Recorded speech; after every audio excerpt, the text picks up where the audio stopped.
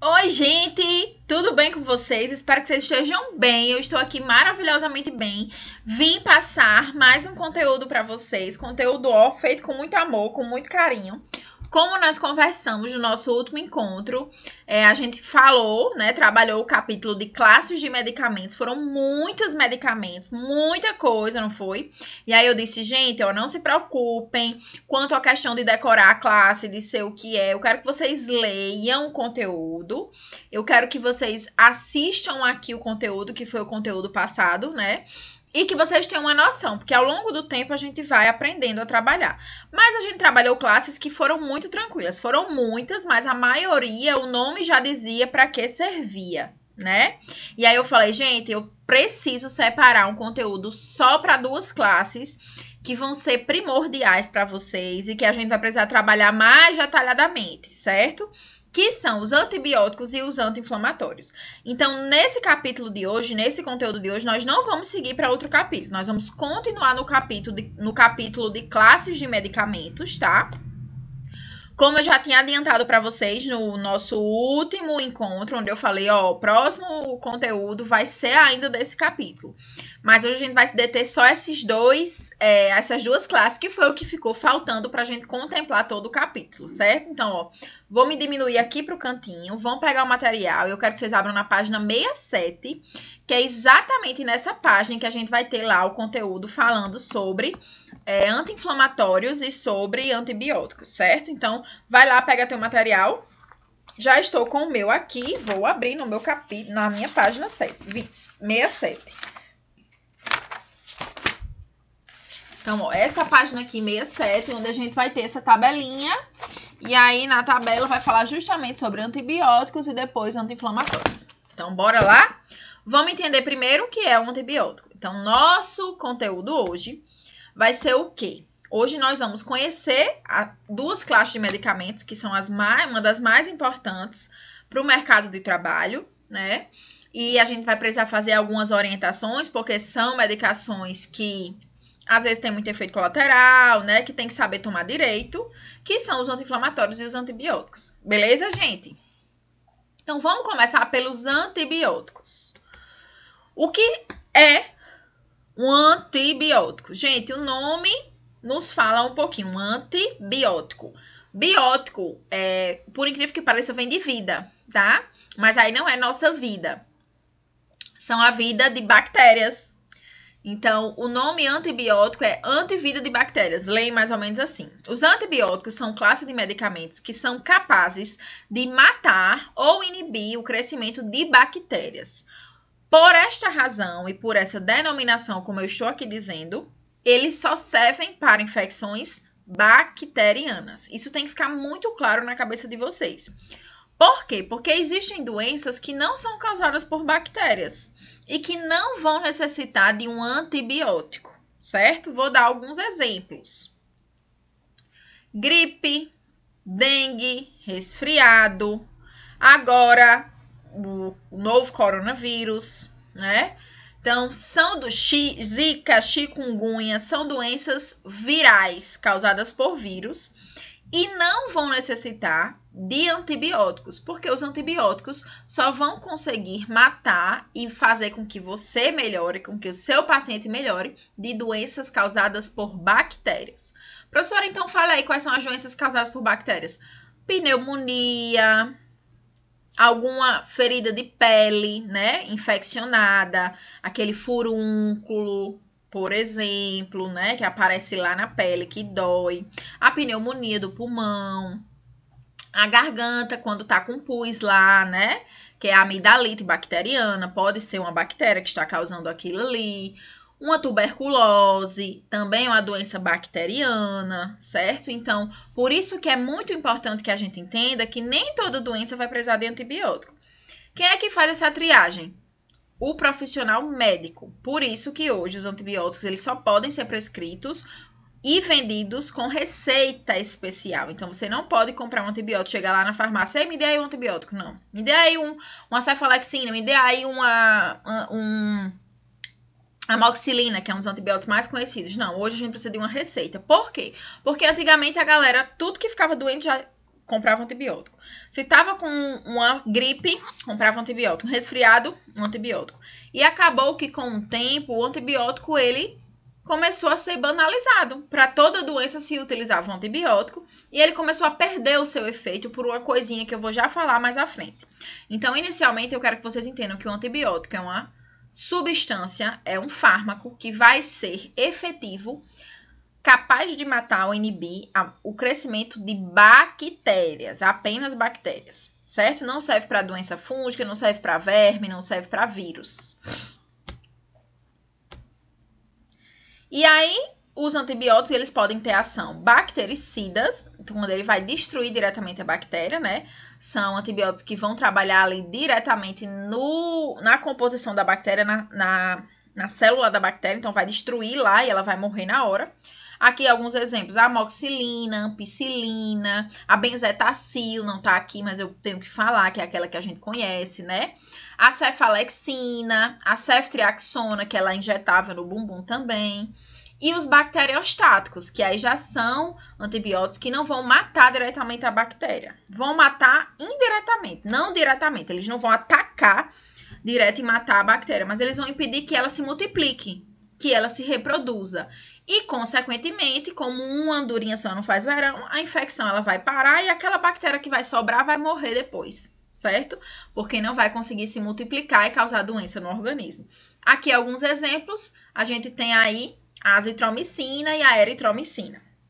Então, aqui, claro, gente, o intuito não é que vocês decorem o nome das medicações, mas é bom vocês já saberem desses nomezinhos, pelo menos esses aí, o que o material de vocês é, trouxe, certo? Por quê? Porque antibiótico a gente já vai saber. Quando chegar lá uma receita, que vocês virem, a gente vai falar sobre receitas em próximos conteúdos.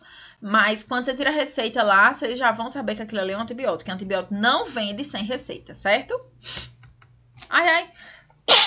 Ó, falou em antibiótico. Jesus, desculpa, tá, gente? Pelinho aqui, ó. Passou aqui um pelinho já né? Eu tenho um cachorro, aí cachorro, você sabe como é, né? Deixa o pelo em todo canto. A minha é bem peluda, aí pronto. Bora lá, voltando. Então, quando a gente fala é, da importância de usar o antibiótico, é porque ele vai matar é, infecções bacterianas. Porém, gente, o antibiótico, ele não mata apenas aquela bactéria que está causando mal, certo? Quando a gente usa antibiótico, ele vai matar toda a bactéria que tiver no corpo. E nós temos bactérias também boazinhas no nosso corpo, não só bactérias ruins, certo? Então, algumas bactérias boazinhas colonizam lá nossa flora intestinal, né? Então, colonizam lá nosso trato é, fecal, lá, nosso bolo fecal. Então, não achem que no nosso corpo não tem bactéria. Nosso corpo é cheio de bactéria. E quando a gente usa um antibiótico, aquele antibiótico ele vai, claro, ser mais específico para aquela bactéria que está causando a doença, mas ela pode, ele pode também matar outras bactérias do corpo, as boas, inclusive. Por isso que para usar antibiótico, a gente sempre deve usar a recomendação médica e sempre deve completar todo o tratamento direitinho, certo? Por outro motivo também. Por quê?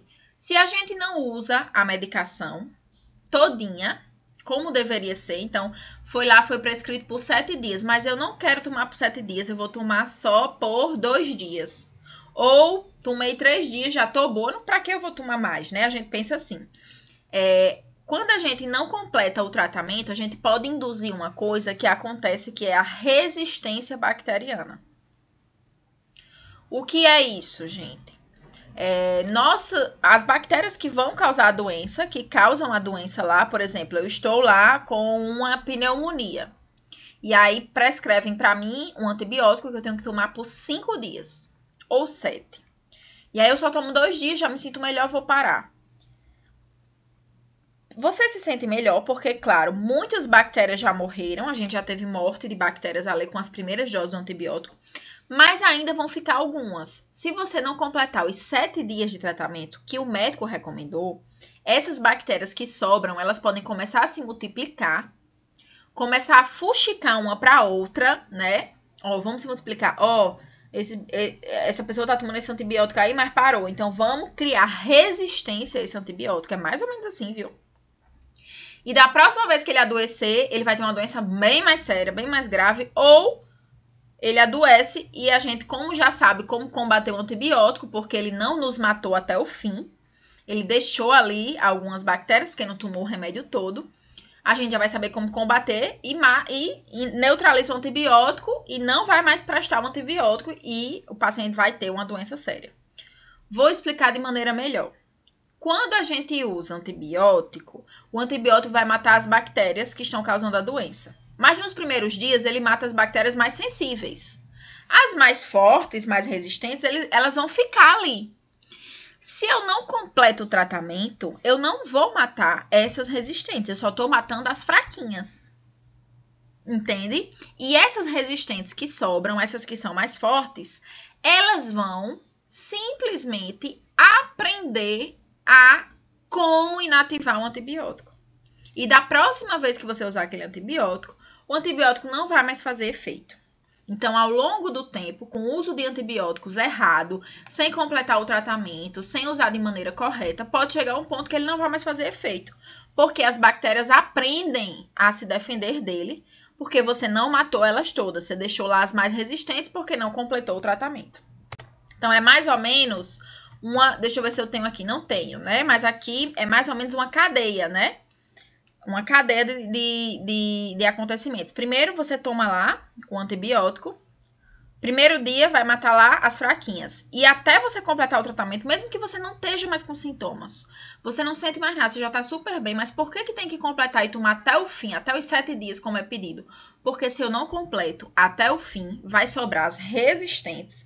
E essas resistentes vão induzir uma resistência à medicação. E da próxima vez que você for tomar medicação, pode ser que ela não faça mais efeito, certo? Então, por isso a importância de quando a gente vender um antibiótico, quando a gente for tomar, orientar o paciente: olha, mesmo que o senhor perceba uma melhora nos primeiros dias, como está prescrito para sete dias, o senhor tem que tomar os sete dias, certo? Então, muito importante. E outra orientação que a gente tem que dar é não usar um antibiótico que já tem em casa. Na verdade, não é para sobrar antibiótico, né? Se você usar todo, vai ter que acabar, porque você compra ali a quantidade para aquele tratamento. Mas caso tenha algumas sobras, nunca tomar, porque alguns antibióticos são mais específicos para aquela determinada doença. E só quem sabe essas indicações e quem pode indicar é o médico, tá? Então, sempre com orientação médica.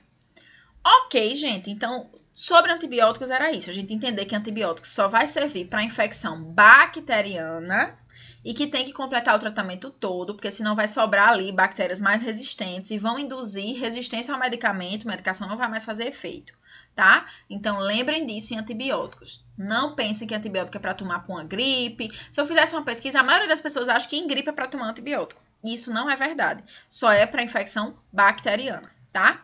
Agora vamos entrar nos mundos dos anti-inflamatórios. O nome também já nos diz muito, gente. Anti-inflamação, né? E aí, quando a gente fala de inflamação, o que seria uma inflamação, certo? Uma inflamação vai ter aí alguns sinais importantes para a gente perceber que ali tem uma inflamação. Então, no local que está inflamado, ou a região que está inflamado, vai ter calor. Então, vai ter lá, você bota, você vê que está quente, né? Numa ferida, por exemplo, você toca, você vê que está quente ao redor, ali no meio da ferida. Vai ter vermelhidão, que é o rubor que a gente chama. Vai ter inchaço, então vai ficar inchado, que é o tumor que a gente chama. E vai ter dor. Então, esses são os sinais de inflamação. Como é que eu sei que existe inflamação? Quando tiver todos esses passos aí. Quando tiver vermelhidão, quando tiver inchaço, quando tiver aí é, calor, tiver quente e que tiver dor, certo? Essa é uma resposta natural ao organismo. Inflamação é uma resposta de defesa. Então, você sofreu uma agressão, um corte, alguma coisa, e o corpo responde dessa maneira, tentando é, driblar ali agentes infecciosos que possam estar colonizando aquela ferida ou que possam estar colonizando aquela região do seu corpo para tentar matar o que está causando a doença. Então, a inflamação é um processo que o seu corpo é, desenvolve. É como se fosse uma reação a um corte, a um agente externo que está lá causando mal. Por isso que a gente diz que a inflamação ela pode sim ter respostas benéficas, né? É a partir da inflamação, desse inchaço, dessa vermelhidão, que o seu corpo recruta lá células de cicatrização, né? Recruta lá o sangue para aquela região, para que aquela ferida, para que aquela inflamação ela regrida. Então, claro que a, a, gente só consegue cicatrizar, só consegue curar de uma doença por causa da presença da inflamação. Então, não acho que a inflamação é por si só toda ruim. A inflamação é uma resposta nosso, do nosso corpo a quem não está causando uma agressão, seja uma bactéria, um vírus, seja um corte, né, seja uma facada, o que for. Acontece que existem alguns processos inflamatórios que são em excesso, né? E aí vai aparecer muita mais dor, muito inchaço, muita vermelhidão, e é isso que vai causar incômodo no paciente. Então, quando essa resposta inflamatória é muito intensa, muita dor, muita vermelhidão, muito inchaço, aí a gente entra com as medicações anti-inflamatórias.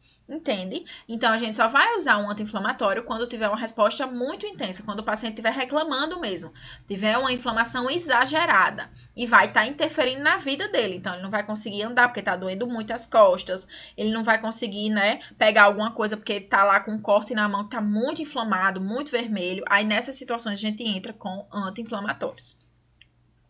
E aí hoje a gente tem dois tipos de anti-inflamatórios. Tem os anti-inflamatórios normais, que são os AINES, tá? Essa siglazinha aqui, ó, que eu tô com a setinha AINES, eles significam anti-inflamatórios não esteroidais, tá? Que são os anti-inflamatórios comuns, que vão servir para dor, para febre, certo? Então, eles podem sim servir, inclusive, contra a febre, mas sua principal função é para dor, então, lembra aí do nimesulida, do diclofenac de sódio, diclofenac de potássio, do próprio paracetamol, da, do próprio AS, que é a aspirina.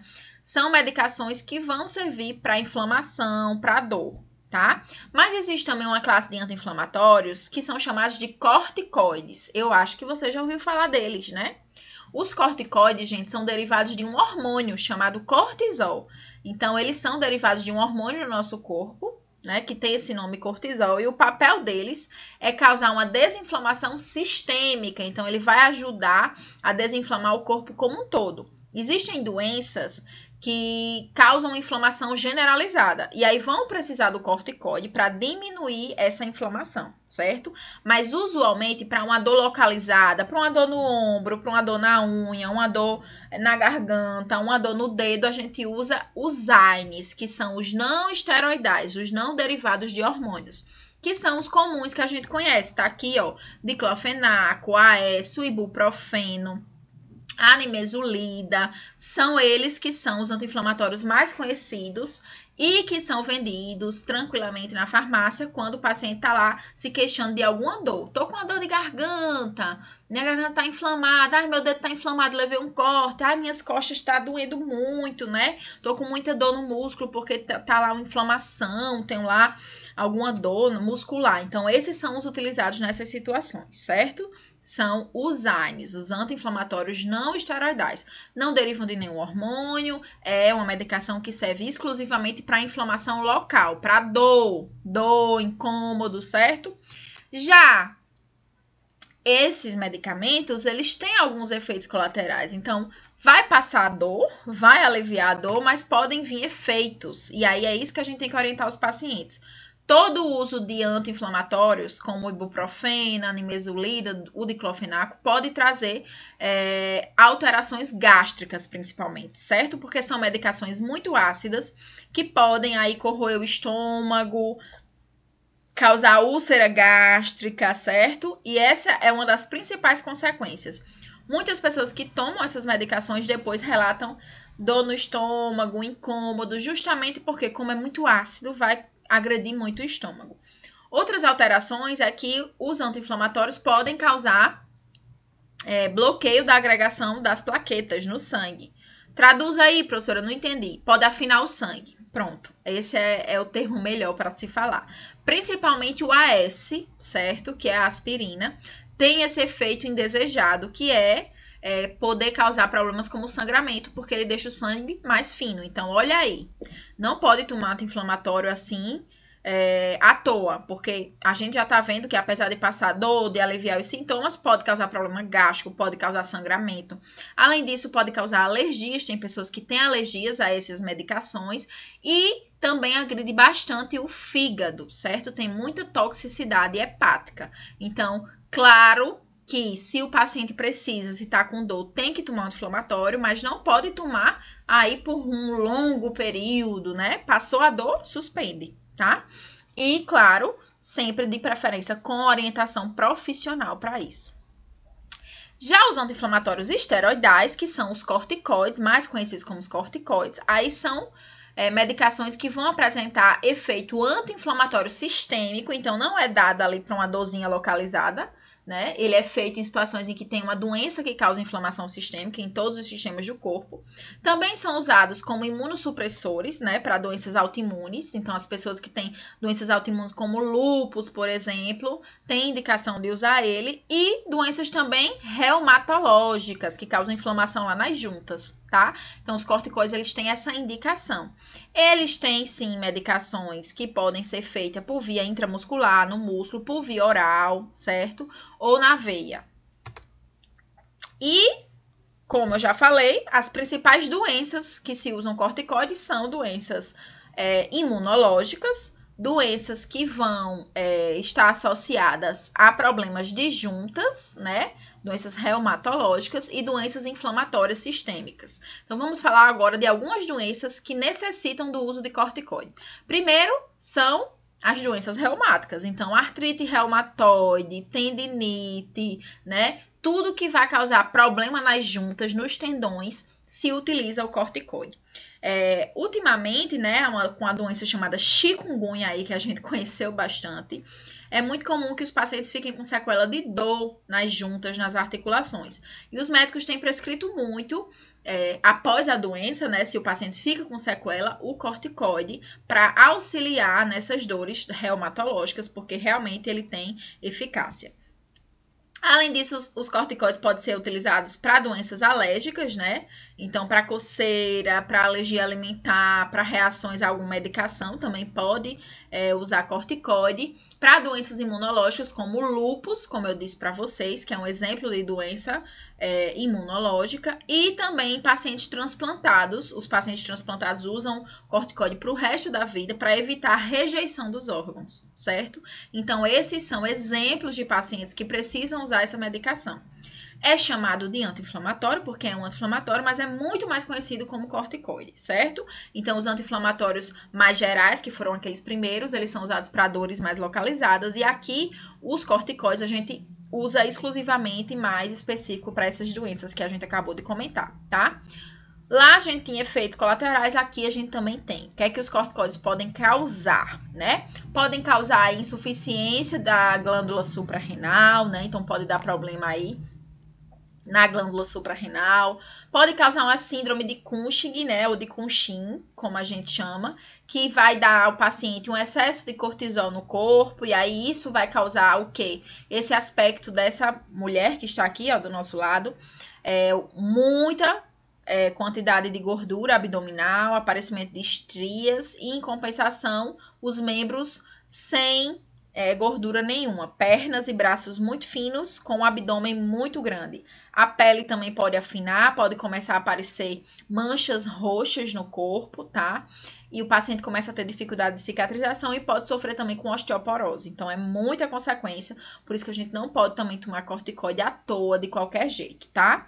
É, alguns pacientes que têm é, asma, que têm problema respiratório, também se beneficiam do uso de corticoide, porque, como a gente viu, ele também serve para algumas reações alérgicas, tá? E ele é uma medicação que é usada para realmente efeito sistêmico, para desinflamação sistêmica. Então, ele pode sim responder muito bem em situações em que a gente tem inflamação na região pulmonar. Então, por isso que o corticoide é associado em alguns tratamentos de pneumonia muito grave ou em pacientes que têm aí problemas crônicos, alérgicos, asma também é, utilizam o corticoide e ele responde bem a esses é, tratamentos, tá? Beleza, gente. Então, por hoje era isso. Nós vimos essas duas classes. Precisava dar elas separadinhas para a gente conversar mais um pouco sobre, né? Vocês viram que são muitas informações importantes. E aí, orientação para o exercício certo? Então, hoje a gente viu os antibióticos e os anti-inflamatórios. Trouxe aqui algumas perguntas aqui para a gente discutir que vai ter lá no exercício. Então, bora lá. Um, os antibióticos com a função bactericida inibem a reprodução das bactérias. Eu mostrei os bacteriostáticos e os bactericidas. Quando a gente fala bactericidas, lembre de inseticida, aí você não esquece mais. Os bactericidas, gente, eles são responsáveis por matar diretamente a bactéria. Já os bacteriostáticos, estático, de parado, eles param a reprodução. Então, não são os bactericidas que vão inibir a reprodução, são os bacteriostáticos, tá? Aqui tá falso. Dois, os anti-inflamatórios não esteroidais, ou seja, os que não são corticoides, aqueles normais, comuns, apresentam como ações farmacológicas efeito anti-inflamatório, analgésico e para febre também. Certo, né? Lembra que eu comentei que eles, além de servir para dor, também vão servir para febre e são anti-inflamatórios. Então, é verdadeiro. Belezinha, meu povo. Então, trouxe aqui só um spoiler, né? Claro, gente, dúvidas, certo? Já vou dizer novamente, até gravei um vídeo para vocês, né? Para tirar dúvidas de como era o exercício. Mas se vocês tiverem dúvida no conteúdo, vocês também me procurem, por favor, pra gente já deixar tudo prontinho, certo? Um beijo. Nosso próximo conteúdo vai ser sobre tipos de medicamentos, certo? Nós vamos falar sobre medicamento genérico, similar, referência. Tá imperdível. Você precisa saber a diferença entre eles. Então eu aguardo vocês. Tchau, tchau e até a próxima.